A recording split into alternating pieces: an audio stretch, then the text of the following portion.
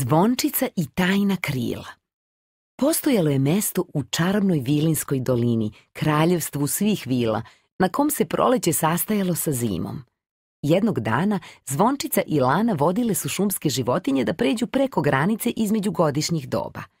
Prolećnim vilama nije dozvoljen ulazak u zimsku šumu, baš kao što zimskim vilama nije dozvoljeno da dođu ovamo, objasnila je Lana svojoj drugarici.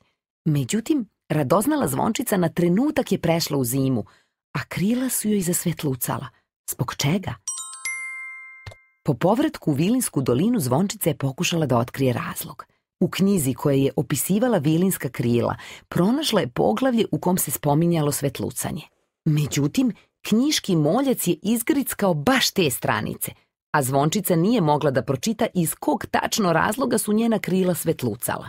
Samo je autor knjige, zimski vilenjak poznat kao čuvar, mogao da odgonetne značenje. Zato je zvončica u korpi snežne sove poletela pravu zimsku šumu. Međutim, prilikom sletanja u sneg, zvončici je ispala knjiga. Srećom, Milori, belokosi vladar zime, ugledao je i podigao knjigu, a da nije primetio zvončicu.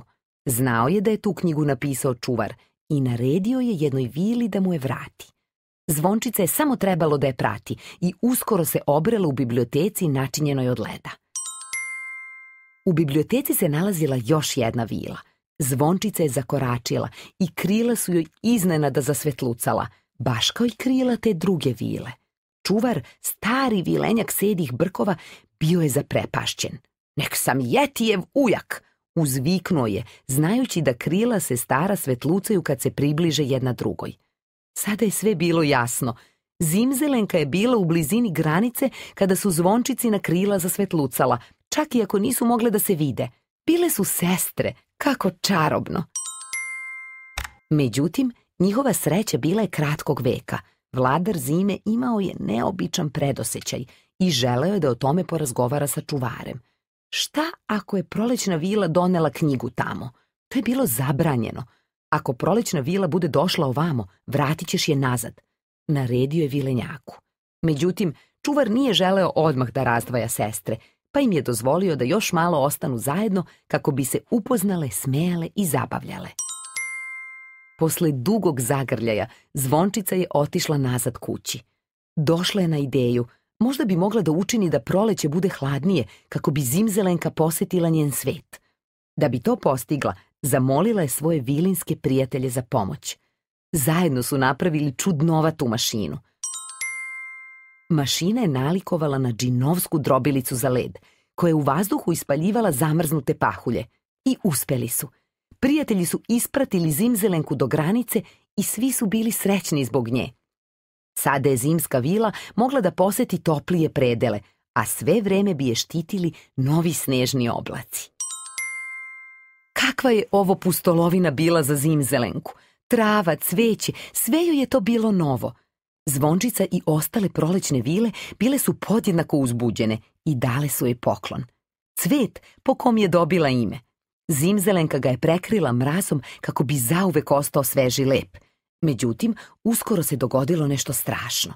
Postalo je previše toplo i Zimzelenka više nije mogla da leti. Zato su zvončice i ostali odlučili da je povedu nazad u zimu. Čim su prešli granicu, zimzelenki je bilo mnogo bolje. Međutim, vladar zime je sve doznao. Mogla si da uništiš krila, rekao joj je Milori. Vas dve više nikada ne smete da se vidite. Sestre su razmenile jedan posljednji tužan zagrljaj. U tom trenutku došlo je do katastrofe. Niko nije motrio na mašinu, koja je upala u potok i zahvaljujući vodi sve brže i brže stvarala ledene pahulje. Sneg je padao na sve strane, Vilinska dolina bila je u opasnosti, a drvo s vilinskom prašinom samo što se nije zaledilo. Drvo je održavalo u životu sve stanovnike doline. Šumske životinje trebalo je odvesti na bezbedno pre nego što led dosegne do njih. Zvončica ih je mnoge povela kućama, ali tad je primetila nešto zadivljujuće. Cvet koji je zimzelenka prekrila mrazom i dalje bio živ. Mraz je služio kao pokrivač koji ga je zaštitio od hladnoće.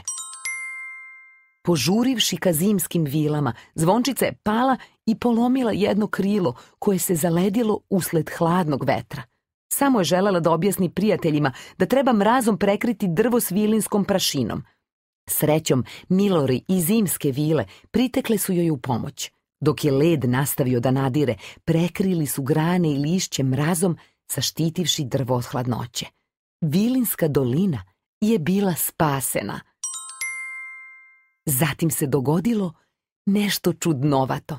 Zvončica i Zimzelenka spojile su krila. Sestre, prošaputala je Zvončica. Sestre, odvratila je Zimzelenka. U tren oka Zvončicino krilo se oporavilo. Čak je i Milori najzad shvatio. Nije bilo tog snega ni mraza, niti te zime koja bi ih razdvojila. Od tada zimske i prolećne vile uvek će moći da se sastaju i budu prijatelji.